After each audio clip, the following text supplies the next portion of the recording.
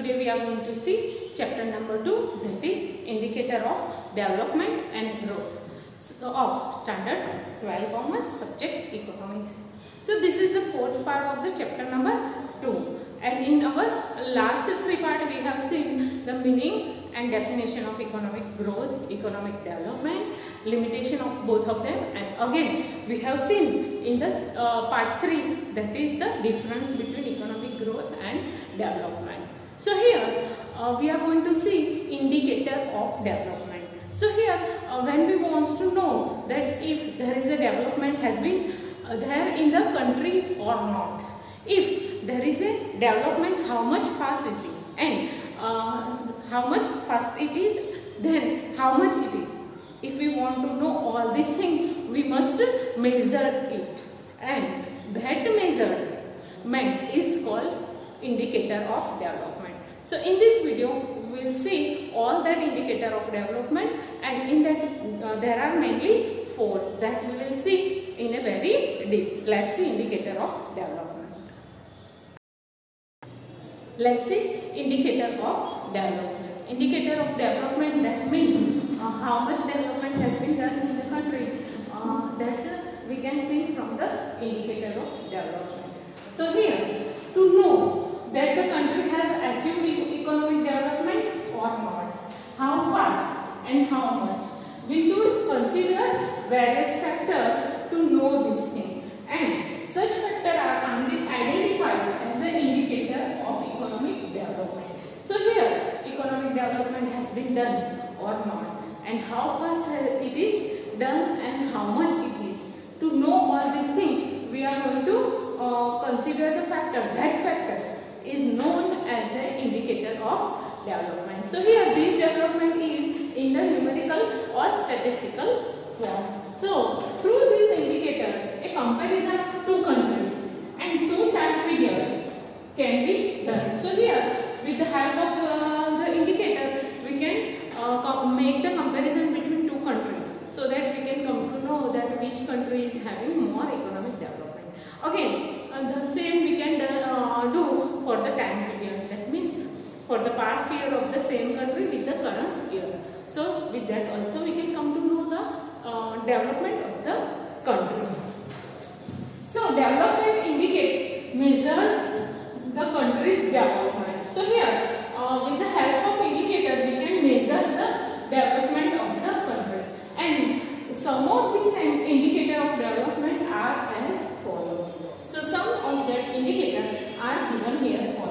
Very first is a growth rate of national income. So how much the uh, national income is increased with how fast that can be uh, known and from that we can come to know the development of the country. The second one is the growth rate of the per capita income. So here again from the national income we can divide it by the population of the total uh, country and then we can come to the uh, per capita income and if per capita income is increased then we can come to know that there is a development in the country. The third one is a physical quality of life index. It is also called PQLI. It is in short form we can say PQLI.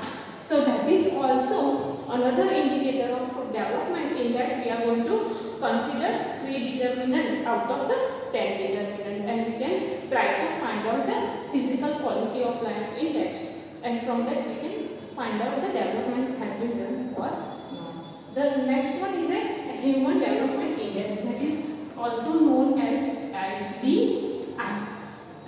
So from HDI also we can come to know the development of the country and here in the HDI also we are going to consider three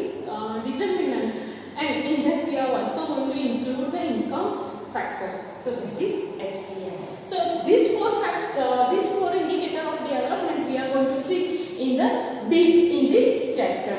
The other indicators are also there but this is not covered in our chapter. So there are gender development index, the next one is the technological achievement index, the third one is the human poverty index and the fourth, fourth one is the human consumer index. So these are the other uh, that can show the development of the country. But here we are going to see very deeply these four indicator of development. So let's see in that very first is a growth rate of national income that we are going to see right now. You may note down this.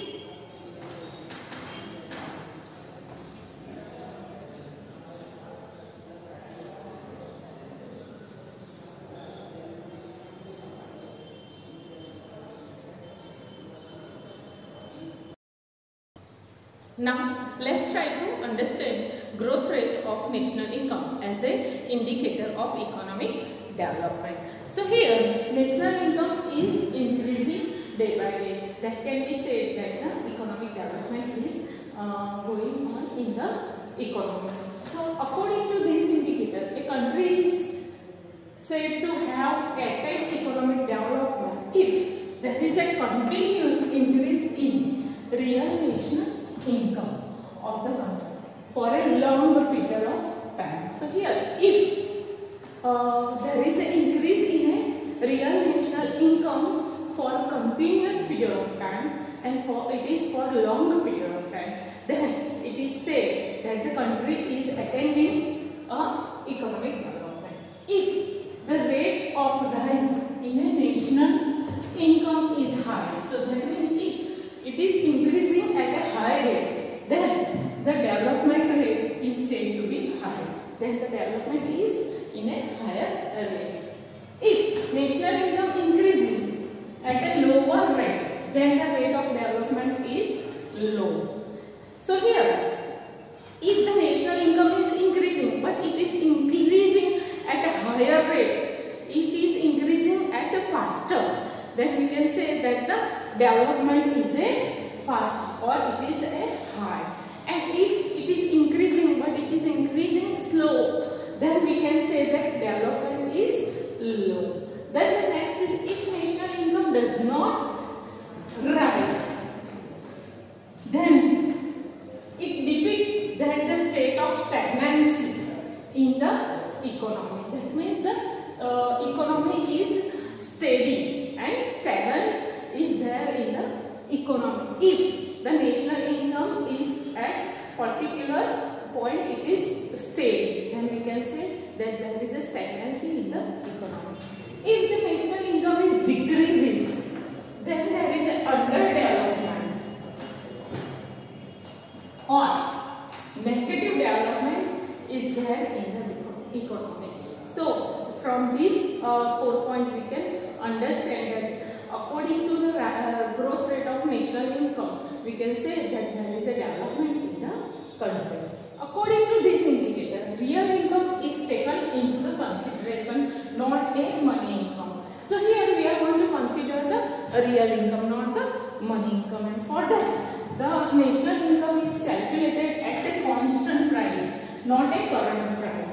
So here we are going to calculate the national income at a constant price instead of current price. So this is the uh, how to calculate the national income and how we can uh, make the conclusion of that. Now let's try to understand with the help of tabular information the same thing. So here there is a ta table in that the uh, annual growth rate of national income it is in percentage. It is given to us and various countries are given to us and this uh, this table is from the World Bank and Economic Survey 2015-16. So here we can see that the uh, national income of the Norway is 2.2. Uh, America is 2.4. Sri Lanka is 4.5 and China and India both is 7.3 and Pakistan is 4.7.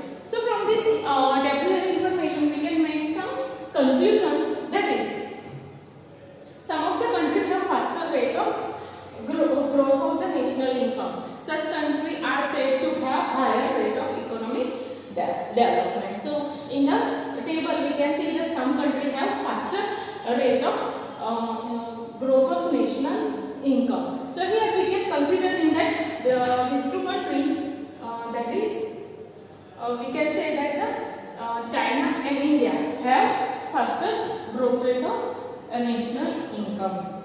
And here the other countries are also there. The, in the table countries like Norway, America Sri Lanka and Pakistan have slower growth rate as against the India. So here India is considered to be one of the fastest developing country. But Norway and America had impressive growth. Has already grown before and that's why there is now it is slower. So here Norway and America had impressive growth rate already though there are growing at a rate of 2 to 3 percent per annum in present. So here these countries Norway and America already grown and that's why the now it is slower. But the other country like Sri Lanka and Pakistan they are supposed to grow at faster rate but it is not and here we can say that India is the fastest growing economy in the world. So this is the uh, information about the uh, national income and from that we can see that the development of the India is faster and it is the indicator of the development. You may note down this in your notebook. Then we are going to see the limitation of the national income.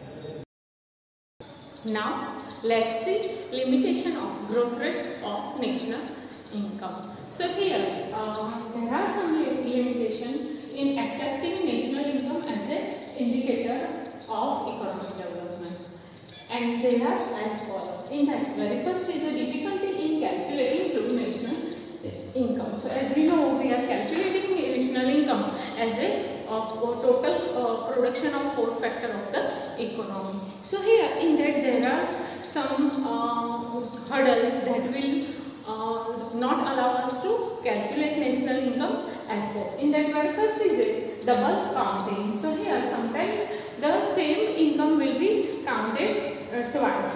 The second one is a product for self-consumption.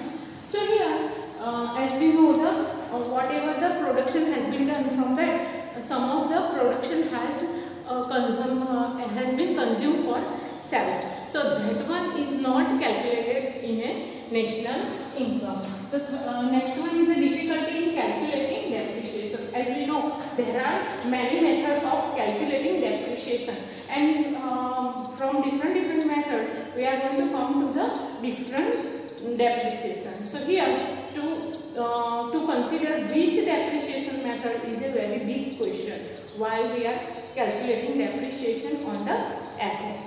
Now the next one is a illegal income.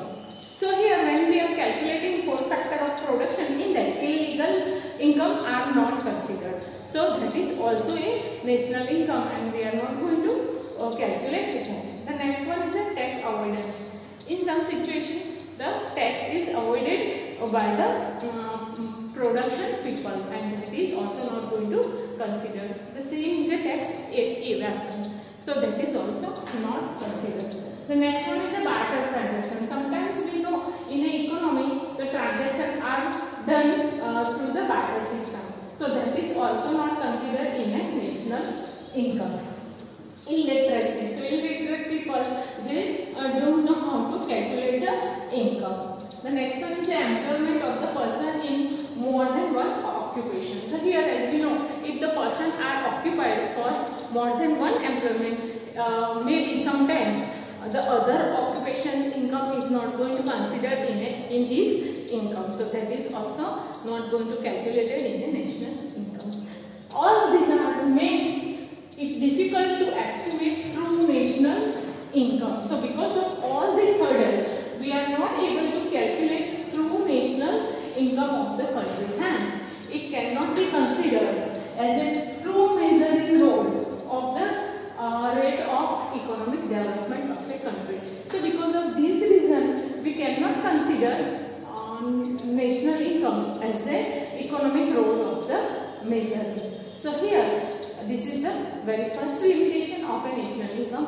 Now, let's see the second one. So, the second one is a population. So, as we know that the uh, national income we are going to uh, divide it between the population. So here by knowing the national income of the country the rate of economic development cannot be understood. The extent of population should also be known. So here we also know the total of the population. If the rate of growth of the national income is lesser than the rate of growth of the population, then the development is said to be negative. So here, the, if the population is increasing more than the national income, then we can say that the development is negative. And if the rate of growth of national income is higher than the then the rate of growth of population, then the rate of the economic development is positive. So if the national income is increasing at higher rate than the population, then we can say that the economic development is a positive. So here population is a very important factor. From that only we can come to know the uh, how, how much the national income is increasing. So only total national income uh, does not mean with that population also we have to consider. So here in this method we are not uh, considering the population. So that is the second limitation of the national income. The third one is a different method of calculating national income. So here uh, according uh, as per the depreciation same as national income also can be calculated by different different method. So here there are different methods used to calculate national income. The most important among them are production method, income method and expenditure method. So here these are the important methods. But when the country national income is measured through two different methods, the, the result will be different. So here if the one country is calculating national income according to one method and the second country is calculating depreciation, uh, uh, uh, calculating national income according to uh, the other method. If we are going to compare that two countries, the comparison is not possible because they have calculated national income according to different methods. So because of that, the uh, when the uh, country's national income is measured through a two different methods, the result differ and the comparison become difficult. So here because of the different method the result will be different and comparison become difficult. So these are the limitations of the growth rate of the national income. Students, you may note down this in your notebook. Thank you for watching this video. In our next video, we are going to see the next indicator of development that is per capita income.